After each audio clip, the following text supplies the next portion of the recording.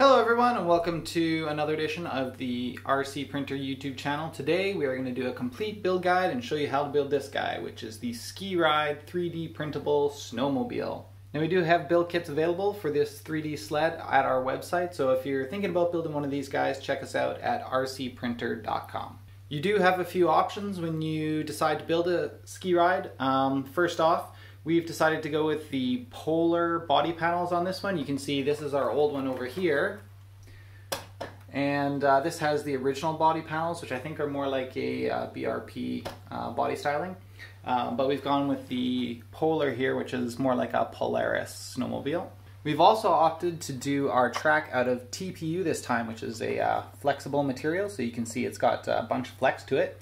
And I'm hoping that um, that just gives us a track that has a little bit more life and we'll see if it grabs the snow a bit better as well. And then finally, one of the things uh, that I have always done here on my sleds is put these HD steering knuckles on and that's uh, just because those tend to break quite a lot and having the HD knuckle printed at 100% infill really seems to help a lot. So uh, those are the three things that are a little bit different on my build than the one that you may be doing. Follow along and check it out and see if these are mods you'd want to throw on yours as well. So without further ado, let's get building.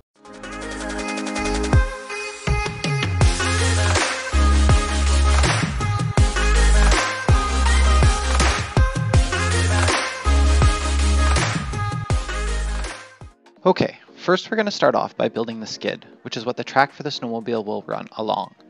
Grab your front skid arm and attach one side of your shorter shock to it with one M3 by 16 millimeter screw. Then attach the other side of the shorter shock to the front skid suspension mount with another M3 by 16 millimeter screw.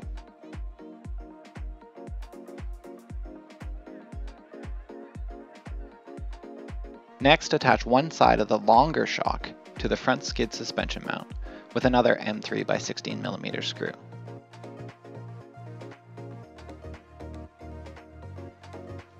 Then attach the other side of the longer shock to the rear skid suspension mount in the position as shown with another M3 by 16 millimeter screw. Now attach the skid aft arm upper to the rear suspension mount with two M3 by 10 millimeter screws. The bulges on the arms should be facing up and make sure the screws aren't too tight as these parts need to be able to rotate. Now attach the skid aft arm lower to the upper piece with a longer M3 by 22 mm screw. The bulge on the lower aft arm should point upwards and curve back, preventing the suspension from pivoting too far. Now insert a 10 by 15 by 4 mm bearing into each of the rear rollers and slide them both on the rear roller axle with the bearings facing inwards. Now grab two of your M3 by 30 mm screws and insert them a little ways into each skid. These will be your track tension adjustments, so we just want them in a little ways right now, and we can tighten them up later once we get the track on. Now grab a few M3 by 14 millimeter screws and use them to connect the skids to the suspension. Make sure the flat spots on the front suspension mount face upward and key properly into the skids as shown. When connecting the lower aft arm, make sure it isn't too tight and can still rotate. When attaching the rear roller axle, the orientation of the flat section does not matter. Leave these loose so the axle can be slid along the groove in the skid to tighten the track once it is installed.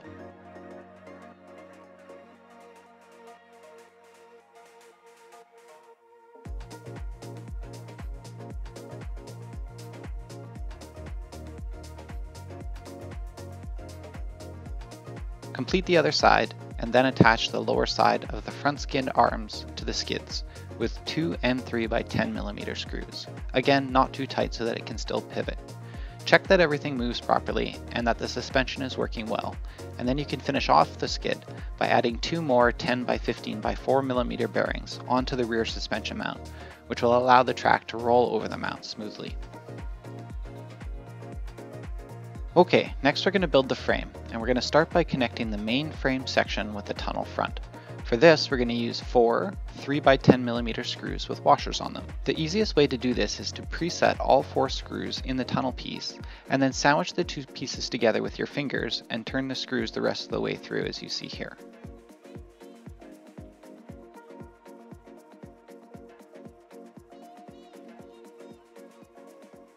Once complete, you can then optionally throw on a couple of M3 nuts on the other side. I find the top two easy to put on, but the lower two are a pain, so I just do the top two here and I'm confident that will hold more than good enough.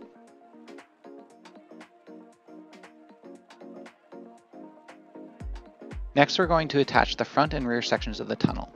You can do this with short screws or a little CA glue. I've opted to use both here. Make sure the screws that go through the top of the tunnel go from underneath and are button head screws to make sure they won't bust off any track paddles if you bottom out the suspension. You can see here that I've actually put the screws on the sides of the tunnel going from the inside to the outside as well, but I'll have to change those later when I install the foot rails from the outside, so those ones don't need to be installed like I've done them here. Next we're going to install the rear tail lights. Unpackage them and then thread the two smaller 3mm lights through the hole in the rear of the tunnel and stuff them into the tail light holder.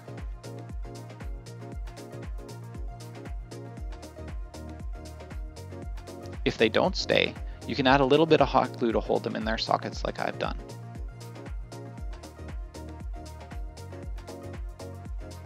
Once the glue has cooled, you can put the rear holder in place and flip the frame over and then insert two small 4mm screws in through the underside of the tunnel to hold the rear light holder in place.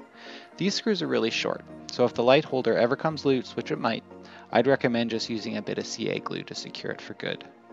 Now we're going to run the light wires along the inside of the tunnel and secure them in place in a few locations with a little more of that hot glue. Make sure to hold the wires in place until the glue solidifies enough that it won't move. Run the wires through the hole in the tunnel to the top side of the sled.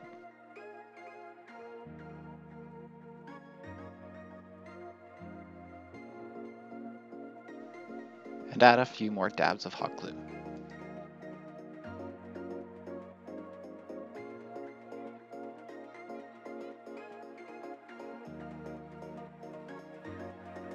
Now flip the sled over and tape those lights down with some masking tape so they don't get in the way, as we won't need them till the end of the project, and that completes the frame.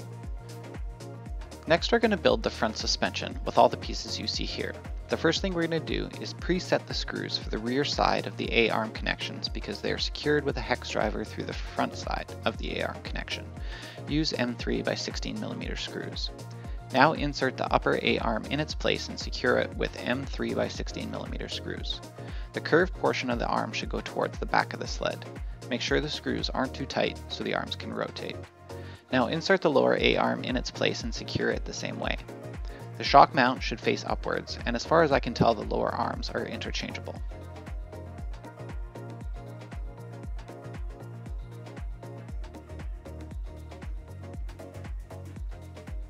Now we can attach the front shocks with two M3 by 16mm screws. Please note that it's actually easier here to attach the top mount first, and then the lower shock mount, as you'll see me do on the other side.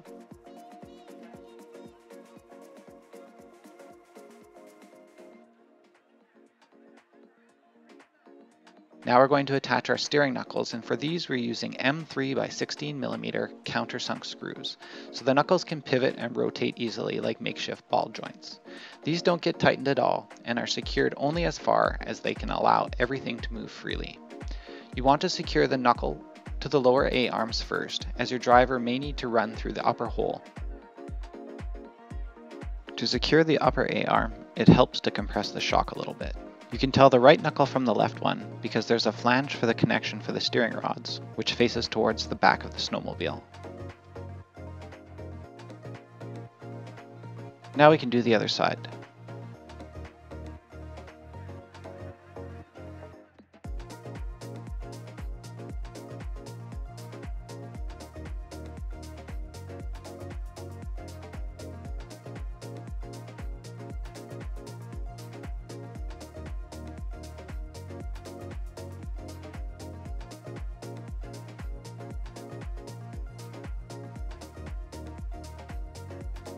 Now it's time to attach the skis. We attach the ski to the bottom of each knuckle with an M3 by 20mm screw, again leaving it loose enough that the ski can pivot. Then we attach the ski hooks with the curved section oriented more towards the front of the skis, and they get an M3 by 16mm screw at the front connection, and then an M3 by 20mm screw at the more rearward connection. Then do the other side. Now we're going to work on the steering, and for this we need a standard size servo. This servo is getting installed upside down, and most servos come with an extra flange on the attachment arms for added strength, but these will get in the way when we install it upside down, so we need to first trim those off as shown before it can be installed.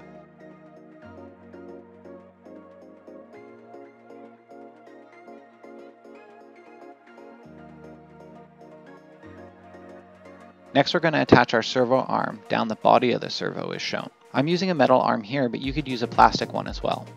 My arm is installed with one screw on the top and two cinching screws on the side. Make sure your servo is centered before you install your arm so your steering is straight.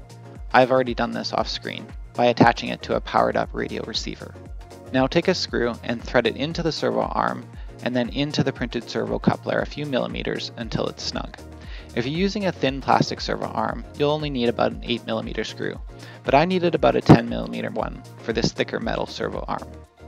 Then put the servo in place with the arm pointing towards the back of the machine and screw it into place with 4 M3 by 10mm screws.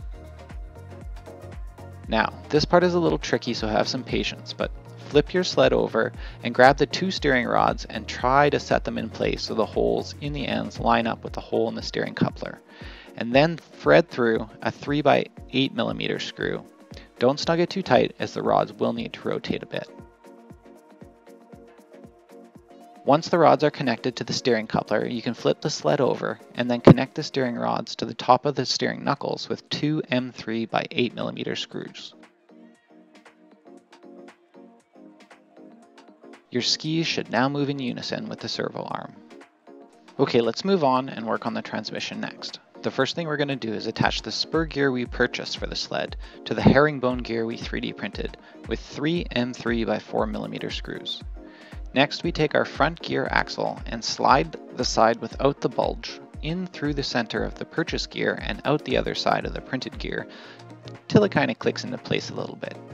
Then we can take three of the 10 by 15 by 4 millimeter bearings and press them into the transmission base and cover plates. Then press the purchase gear side of the gear axle into the base plate while making sure the bearings stay in place. And then put the cover plate on top and rotate it until the holes in the base plate line up with the holes in the cover plate. Sandwich these two plates together hard and then drive two 3 by 30 millimeter screws through the left side of the cover plate and then through the base plate until they're just past flush. So not all the way through, but they're holding the plates together and then add an M3 by 12 millimeter screw through the base plate first and into the cover plate in the remaining hole nearest the top of the case. Next, grab your sprocket axle and slide onto it the other herringbone gear with the flange facing inwards on the side of the axle that has the hole closest to the edge. Secure it in place for now with an M3 by 14 millimeter screw. Then grab two more 10 by 15 by 4 millimeter bearings and press them into their holes on the inside of the front tunnel. If the bearings are at all loose in their sockets, you can secure them in place with a very small amount of hot glue onto the tunnel plastic just overlapping the outside of the bearing. That should keep them in place, but mine were nice and tight so I left them as is for now. Then slide your axle through the tunnel and thread on both of the front sprockets as you push the axle through, making sure the extended flange on each socket faces inwards. Make sure each sprocket lines up with a hole in the axle and then secure it in place with an M3 by 14 millimeter screw. Now we're going to attach the transmission, but to get the herringbone gears to mesh well, we need to back off the screw on the herringbone gear we just installed so it can slide along the axle. Then we're going to mesh the gears and resecure it into place. Then we can install the transmission by driving the longer 3x30mm screws all the way through the base plates and into the frame, and then add one last M3x8mm screw through the last hole on the inside of the tunnel and through into the base plate. Okay, now that the transmission is complete, we can attach the skid to the frame with four M3 by 14 millimeter screws. Where the front attaches, there are flat spots on the arms and on the frame to make sure everything is aligned properly.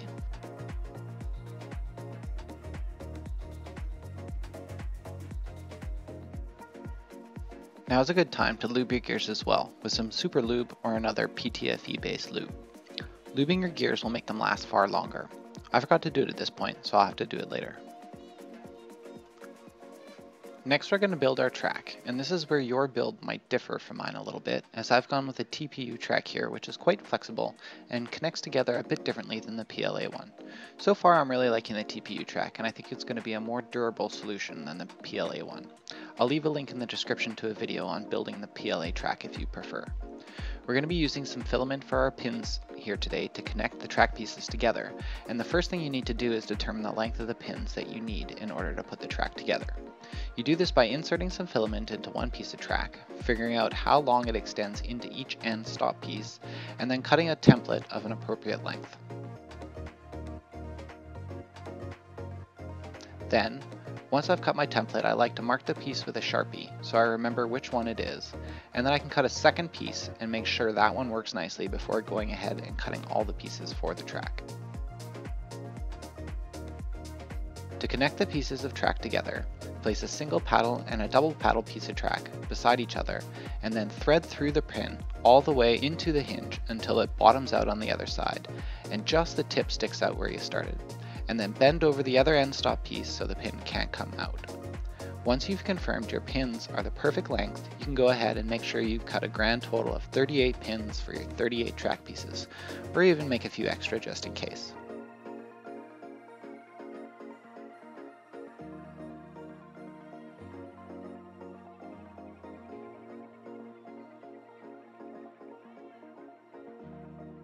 After cutting all your pins, you can resume building your track piece by piece with a double paddle piece and then a single paddle piece, and so on and so forth.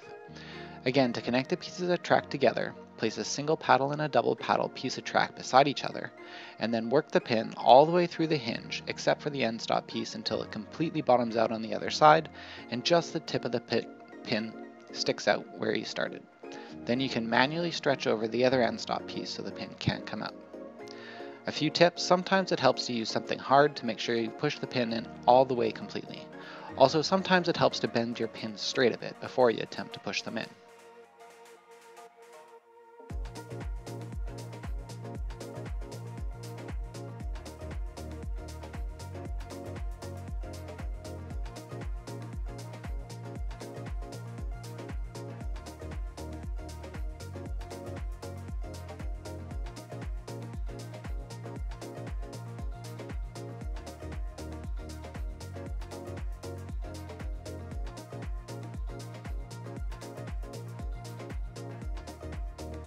Once complete, you can install the track by flipping the sled over and threading the track over the sprockets and around the rear rollers.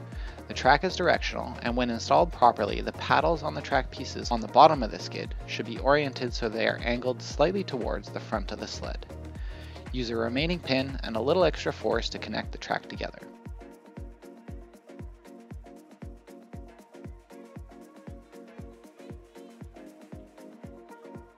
Test to make sure it rotates freely, and then you can tension the track a bit by tightening the tensioning screws at the rear of the skid, which push the rear rollers into place.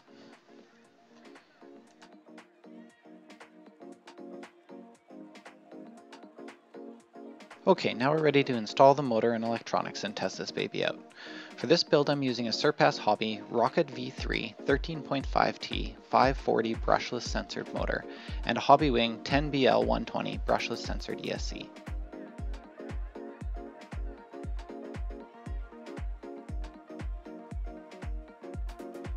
I have a few different pinions here I could go with, but I'm going to start with a 13 to 32p pinion and see if that works well.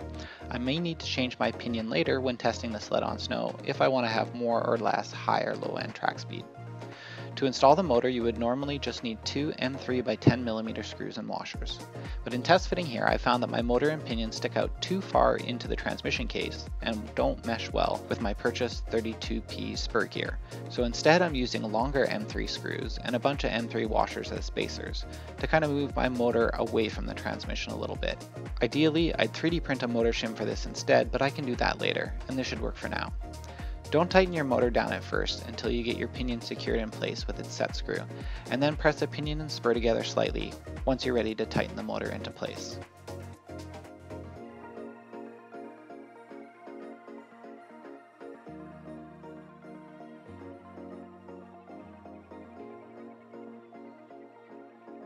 Okay, now we're going to solder up the ESC. it's going to reside at the back of the motor, and the cable should reach nicely as you can see. On the black and red wires, I'm going to solder a Dean's plug for my batteries.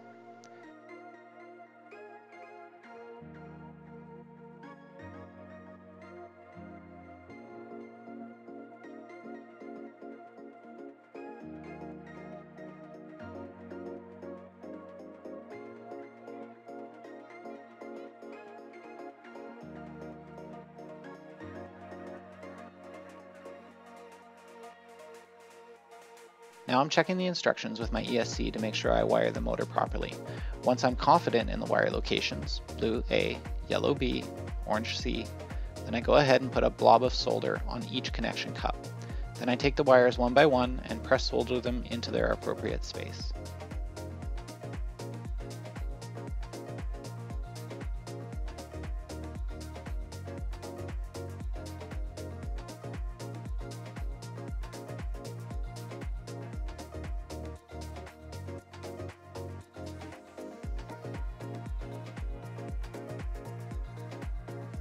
Now grab a battery and your radio combo and plug your servo, ESC, and lights into your receiver. I'm using FlySky, so steering in channel 1, throttle in channel 2, and lights in 3.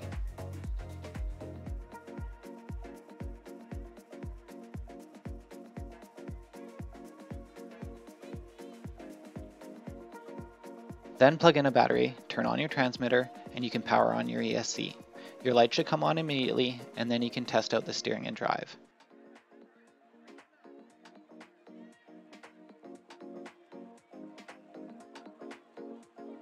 It might take a moment for the track to run smoothly, as your track likely didn't print perfectly and needs to kind of work itself in.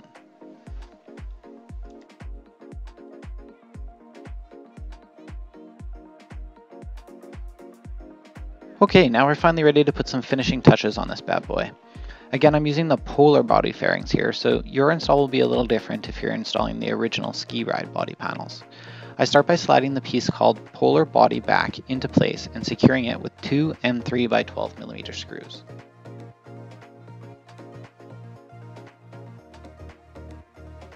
Then we can attach the polar body front with one M3 by 12 millimeter screw from underneath.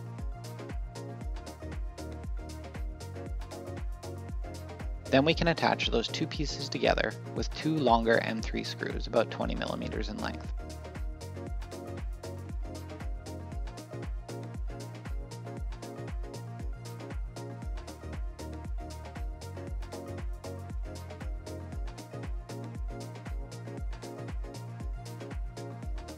Then we can slide the seat base into place and attach it with the printed seat connectors and four M3 by 8mm screws on each side.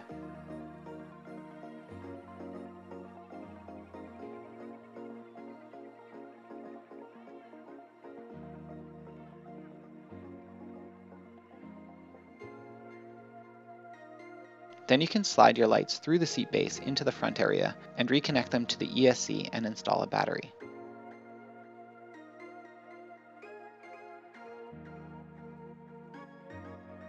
Normally I'd use a larger 3S LiPo battery for this model, but for testing right now, I'm just using a small 2S one.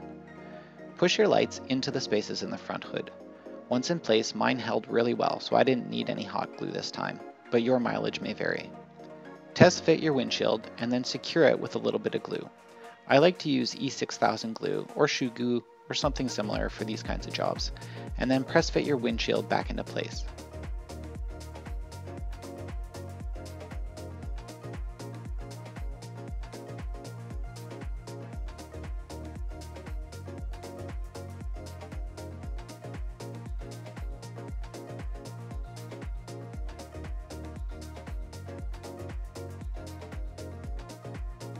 Test it out to see how cool it looks, especially when printed in clear PETG. Now we're going to add the hood magnets that will help hold the hood in place. I didn't have the exact right size magnets for this, so I opted to use similar ones and then heat fit them into place, which I don't really recommend. Just buy the right magnets.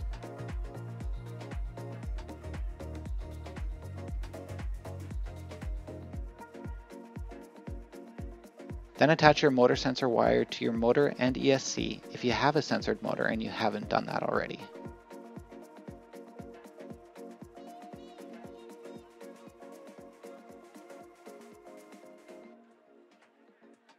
Then you can attach your seat by sliding it into place until it clicks in right over top of the battery. Next we can install the foot rails. To do this we need to remove the two screws holding the sides of the tunnel together, as well as the two screws holding the rear skid assembly to the tunnel. Then you can put the foot rail in place and replace the screws that connect through to the rear assembly. Then you can screw the rest of the foot rail holds in place with M3 by 12mm screws for these thicker polar foot rails.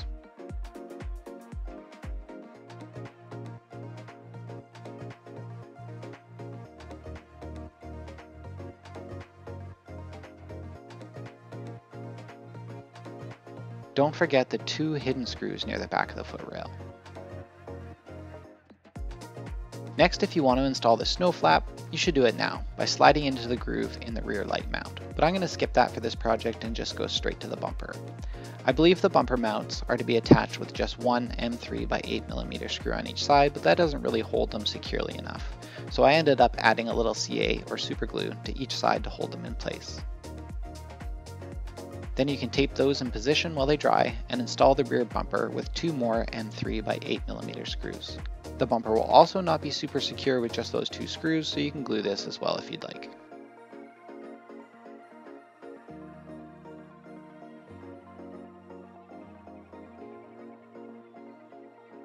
Then we can set our tunnel bag in place and mark approximately where the middle will go, and then make sure that mark is exactly centered on the tunnel with a ruler or a set of calipers.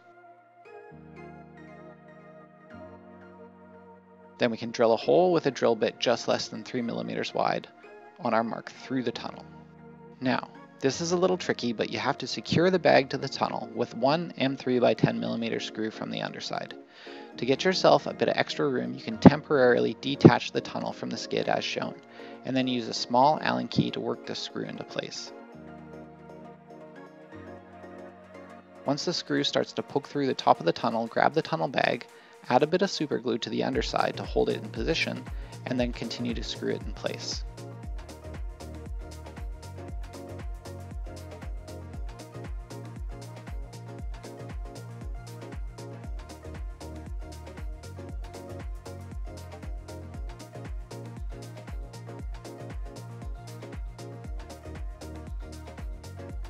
Then you can reattach your skid.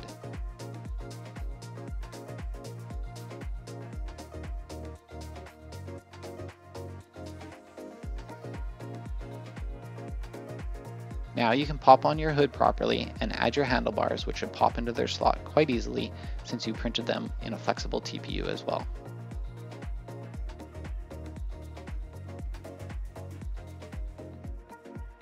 Okay, so here's what the inside looks like before any organization.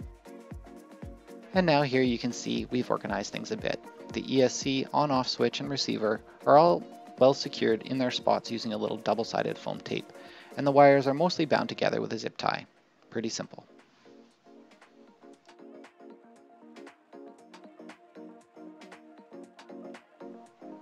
And here we are with one final test to make sure everything's working as it should.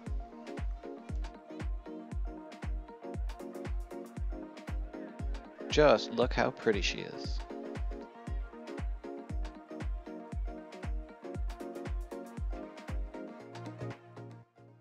Okay, so thank you very much for watching the build guide of this 3D printed RC snowmobile, the Skeeride, with the polar body panels and the TPU track and the HD mod steering knuckle. If you have any questions, make sure you leave them in the comments below. And if you're looking for a build kit for a snowmobile like this, check us out at rcprinter.com.